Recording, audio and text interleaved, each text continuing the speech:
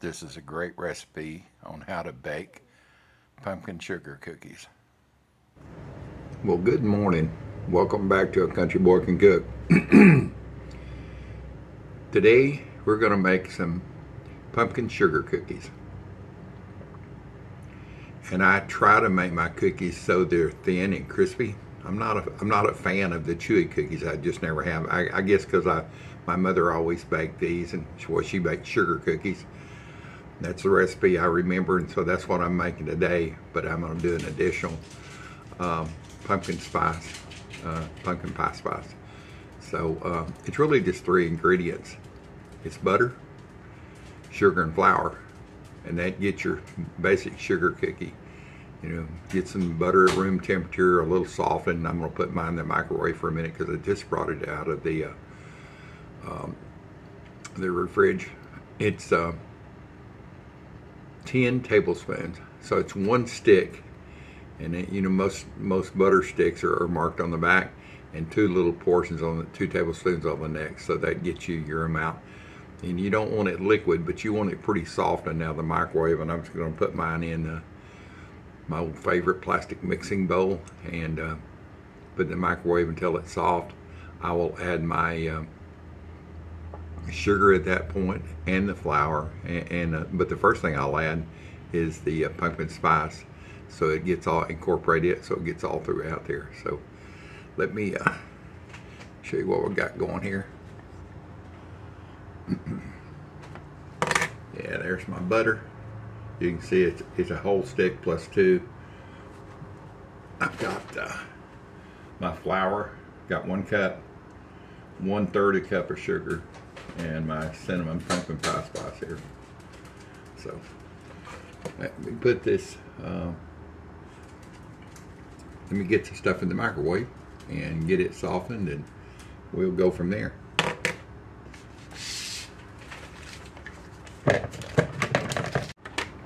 All right, I'm back.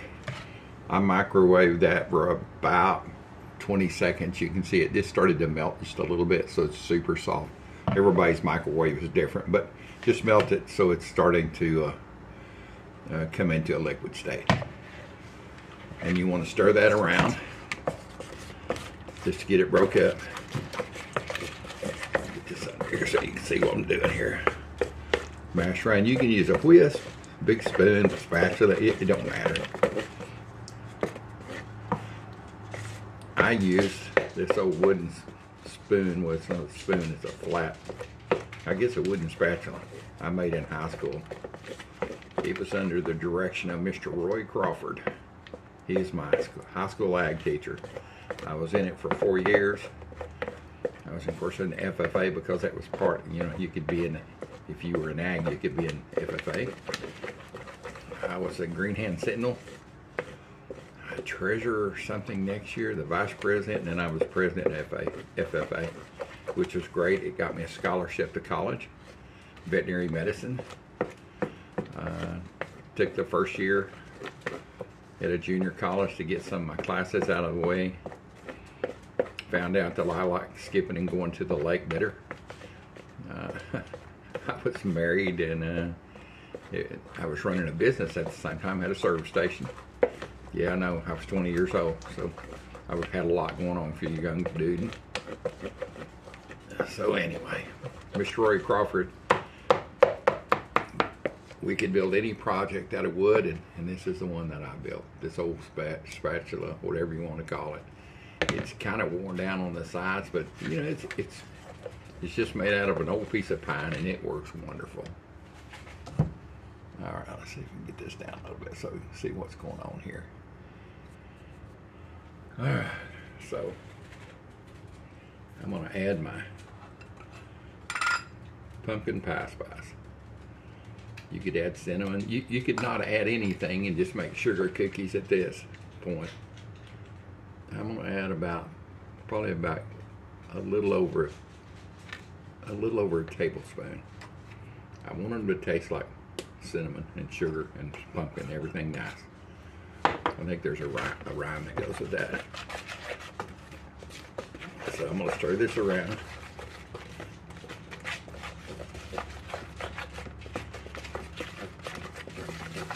until it's pretty incorporated.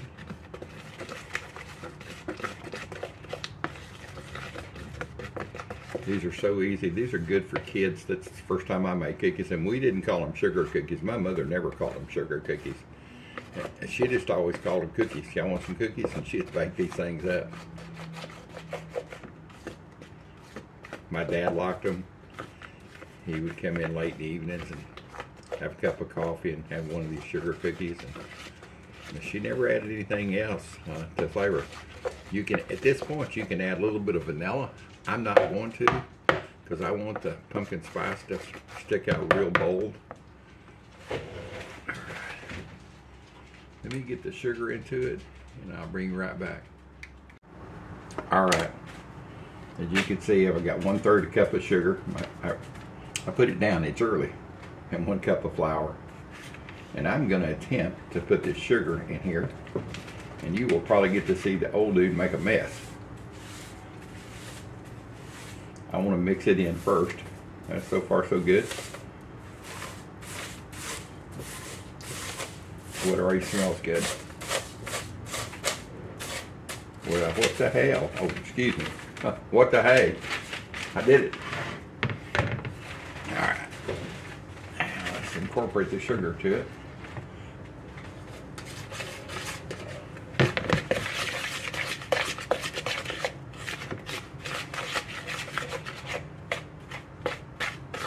And I'm not through with the pumpkin yet.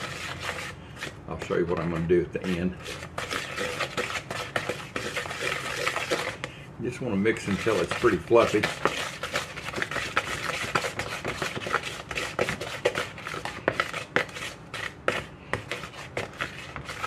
All right, I need some more fuel. Let me grab a drink of coffee here.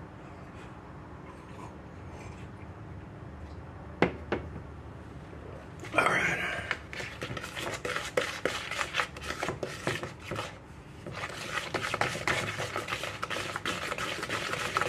That's pretty good right there. All right. I see the old dude make, another mess. See here.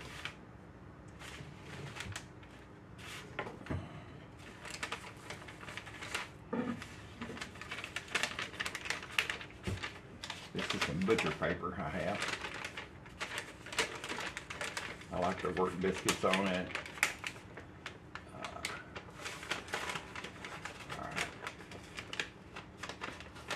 all right, we're, we're going to show people how to be chefy. Oh yeah. Ah, perfect chefy moment.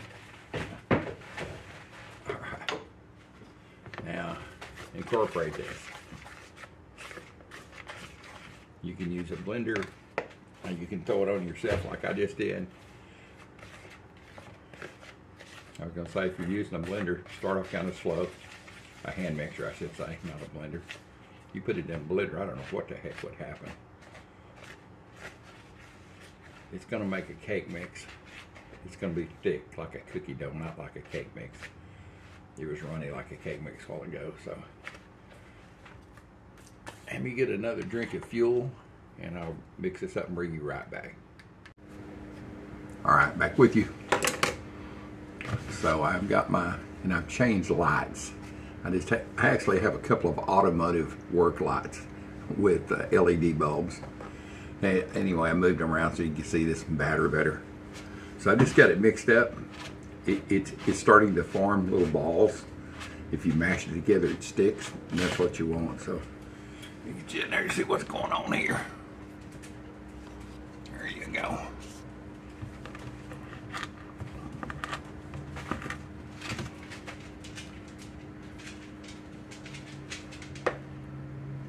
I remember uh, one fun morning.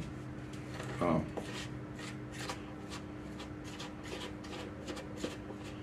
my mother was cooking, and she said that I, I, my dad worked in Dallas. We had this big ranch or farm, or whatever you want to call it, and uh, he always worked in Dallas. Always had two or three jobs. I guess that's how we could afford the place. So anyway, he would leave like at five in the morning to go to Dallas, and uh, excuse me, I had to get a drink there. Um, so while he was gone, or after he left, I mean, I, I was getting up to eat breakfast, and little brother and sister they got up a little bit later. They were special, special, special, because they got babied. Anyway, uh, my mother fixed sugar cookies one morning while I was at the barn. My job was to the old dude's job at a younger age was to go milk our we at one time we had two jerseys then we had one. I can't i think we just had one at that point in time. I was about fourth or fifth grade. And um, i'd go down milk the cow it'd take you know 15 or 20 minutes and, and feed the we had a stud horse that we kept pinned up and, and if we had any other horses or cows that we were you know working on for injuries or, or cuts or whatever i'd take care of them you know feed them and make sure they had water and all during that time, our pond was right there by the barn. And, and I'm a Pisces and I'm drawn to water. I'm a fish. So there wasn't a morning that didn't go by. I don't care if it was raining, snowing. I had to wet a line in that pond. So that that one morning my mother was making these sugar cookies and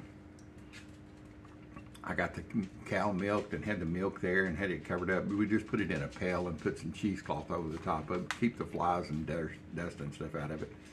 We, uh, and I sat there on the barn, well, in, our feed room, had a wooden floor. So I went and uh, grabbed up a couple of worms at a, a, spot we could always dig up worms by the barn. And uh, I had about a five foot little, it was a willow pole that I'd cut out of a willow tree I mean, there wasn't no, wasn't no, wasn't no fancy rod and reel. There wasn't none of that stuff. It was just a willow limb, and they were flexible, so they were great to use as little fishing poles. And if everybody, anybody's ever used a willow pole to go fishing, let me know. I, I know I'm not the only one that used those. So anyway, I, I put me a little, I had a little old cork.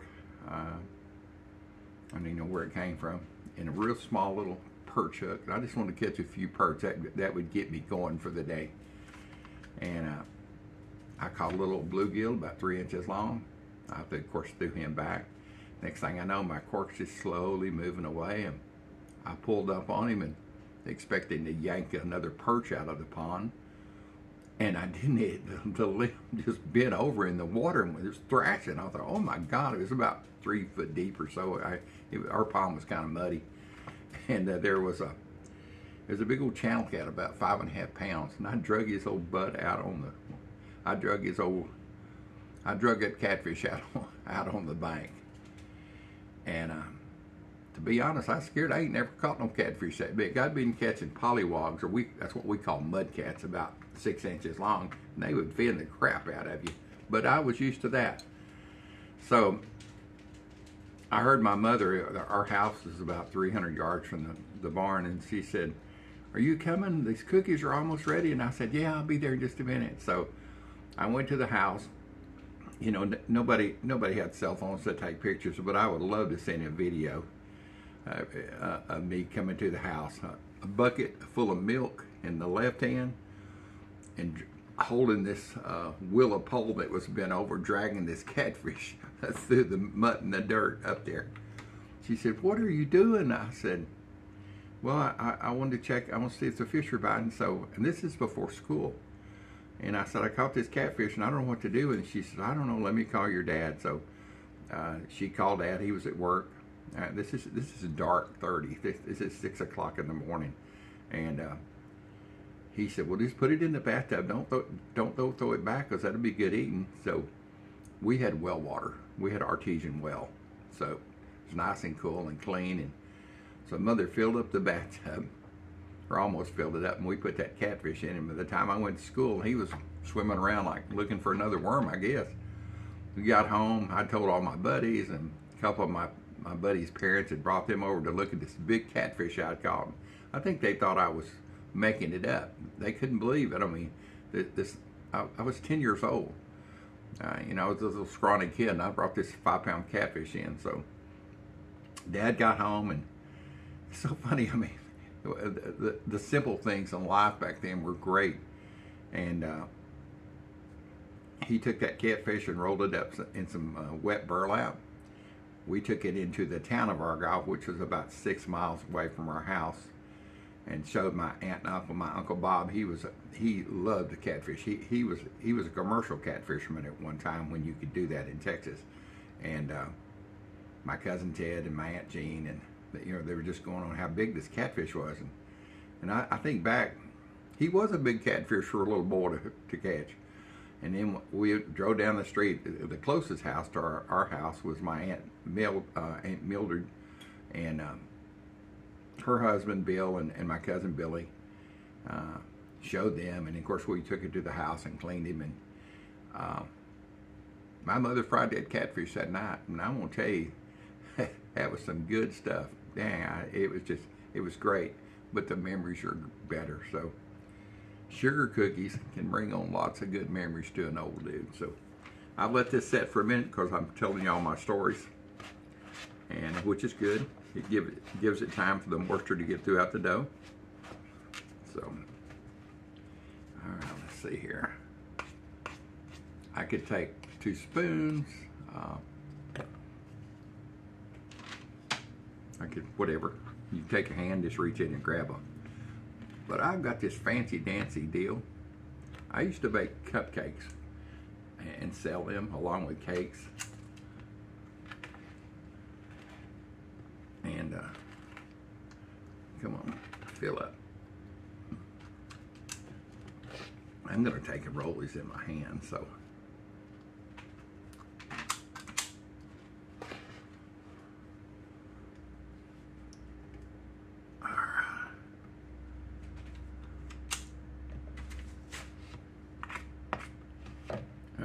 get back in the bowl. This is kind of a portion them out, kind of close to the same size. It just makes them when you're baking them, uh, they'll bake a little bit more even. You're gonna put these about two inches apart once I put them on the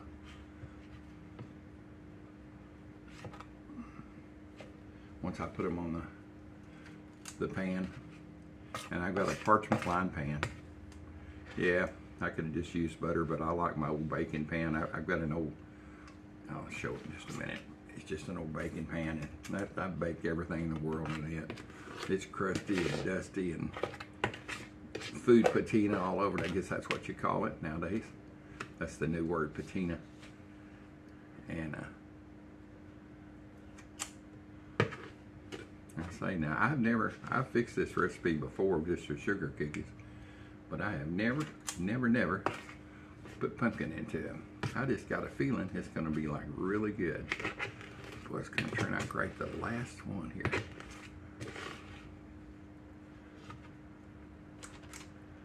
All right, empty bowl. So what I'm gonna do, I'm gonna just roll these into balls.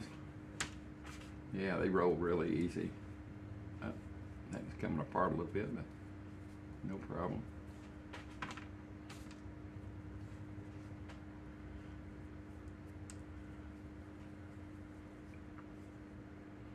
Ah, get back together there. There's some dough that, flour that didn't get mixed in. It would probably be fine, but I'm not gonna let it get in there.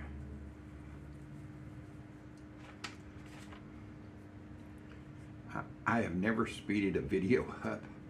I'm going to try to speed this up when I when I publish it. I, I know there's a way to do it. I just I cook by the seat of my pants. I've just learned how to produce these shows and add some effects and all that. And, and I'm not going to go crazy and add lightning bolts and that's just not my style. But uh, I'm going to try to when I edit this speed this process up of me making these dough balls. Oh, speaking of dough balls, uh, I'm going to make dough balls one of these days.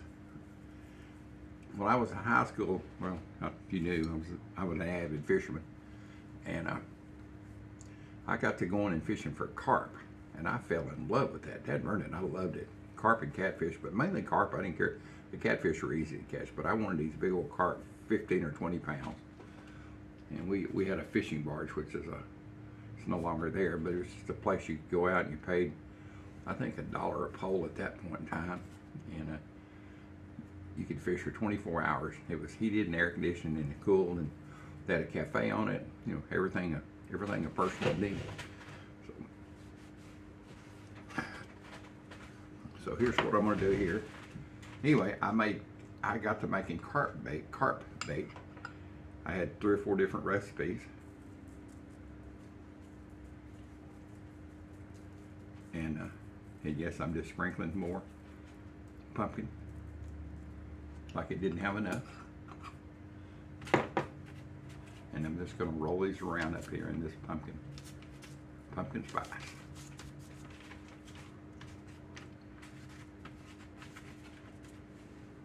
And I've got a parchment lined paper over here.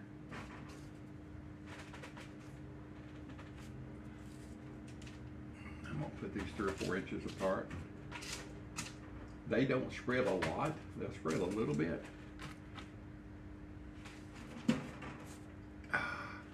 Anyway, I got to making carp bait when I was in high school. Bring back to my story that I'm forgetting I'm telling. And uh, let me get this out of the way. And started selling it. It was Texas Best Carp Bait. I had three or four, and I even had a catfish bait. Uh, it was made out of I had one recipe that used Wheaties, the Wheaties cereal. It worked great. I used Wheaties and uh, also cottonseed meal. So let me get these kind of spread out here.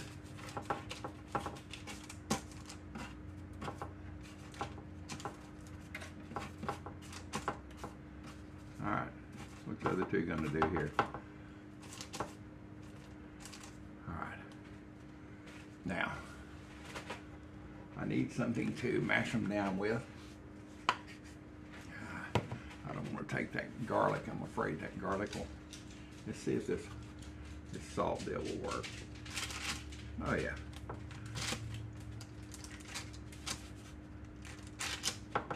Just to get a head start on it. And of course you could take and you could sprinkle sugar on them. You could you could put sprinkles on them.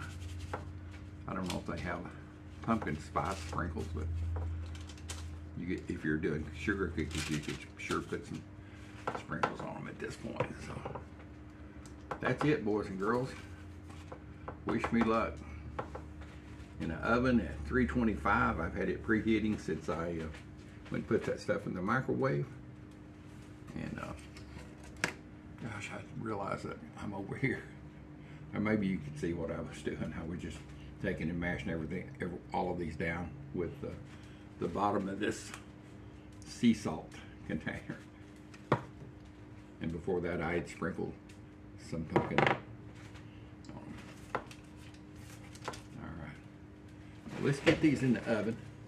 These going to bake for about 10 minutes, and I'll bring you back. It'll just give me enough time to do a cleanup, and I'll be back with you.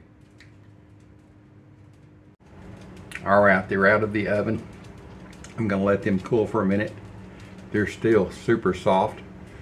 Uh, I lifted up the corner of one with a spatula and it was kind of browning underneath. I just turned the stove off and left it in there for about five minutes. So let me show you what they look like at this point. Yeah, they're looking good. There you go.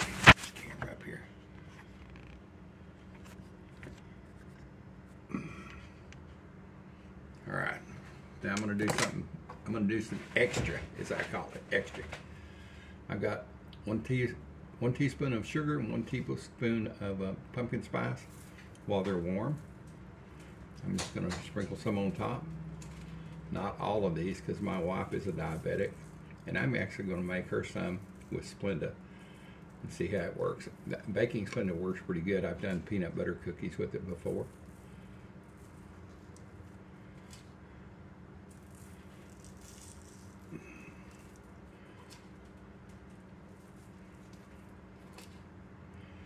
It's hot, it will uh, let that sugar and cinnamon stick or sugar cinnamon cinnamon pumpkin spice spice cinnamon and sugar and pumpkin spice spice man I can't even get that out. Uh, stick to it.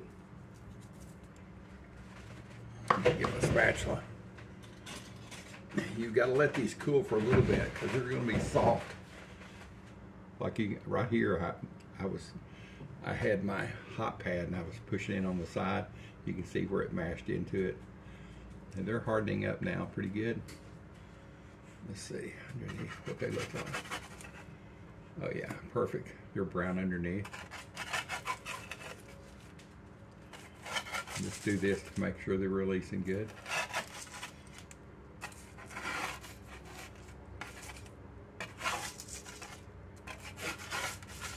wife comes to get her coffee this morning she loves pumpkin last night for dinner she had a cup of coffee with pumpkin spice uh, creamer in it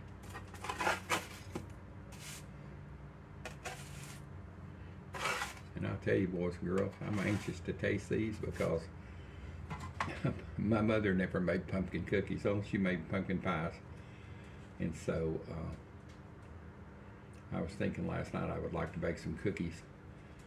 We were watching something on TV and they were eating cookies. I, I said, man, that looks so good. She said, yeah, I wish I had some now.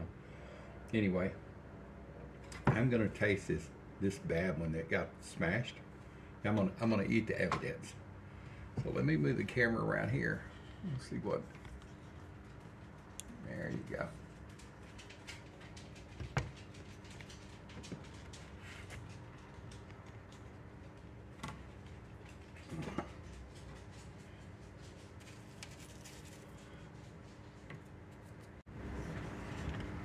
All right, let's test out the broken one when I go to Tom Thumb's where I shop, it's like a Randall's or big grocery store chain.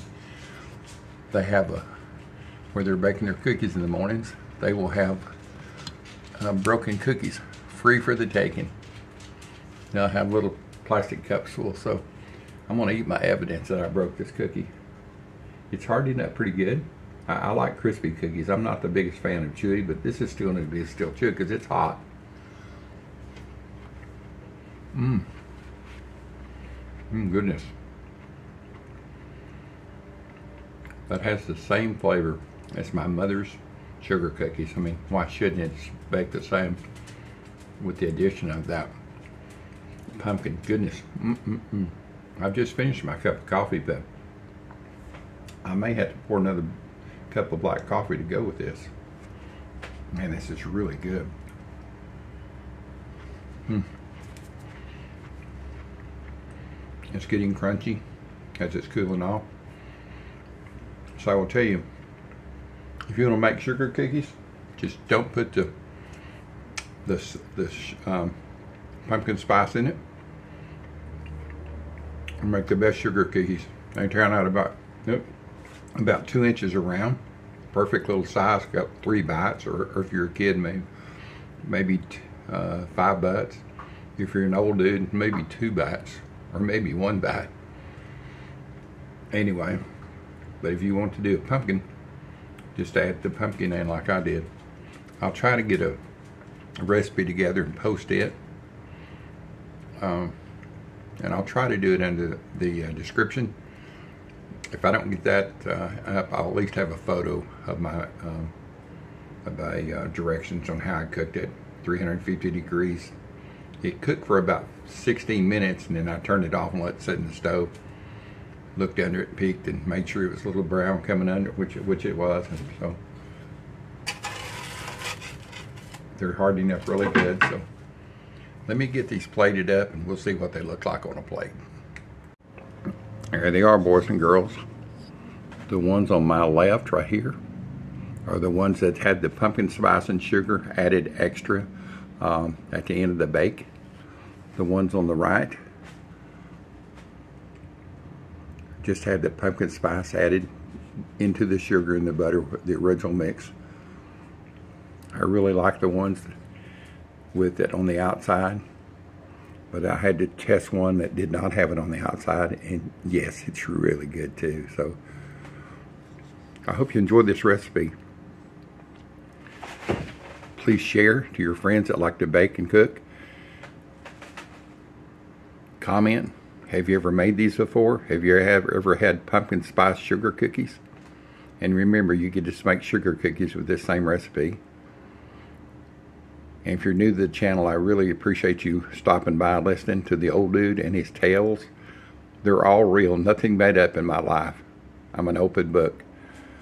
And uh, if you've been here for a while, thank you for being part of it. We were at over 600 uh, subscribers this morning, which is great.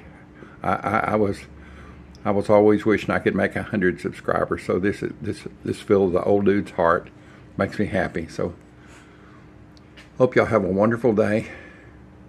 I'm gonna finish this regular cookie with a cup of black coffee. This pumpkin sugar cookie recipe made about 10 cookies. Yeah, there's just, I think there's eight left. You know, old dude's got to try his food to see if it tastes good. Thank you for riding along with the old dude this morning, riding shotgun, and listening to my tales and video recipes. Thank you so much.